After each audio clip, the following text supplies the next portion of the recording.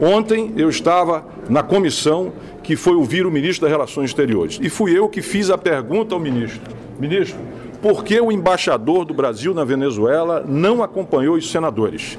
Ele disse: determinação do Itamaraty. Eu disse: determinação do governo brasileiro? Ele disse: sim.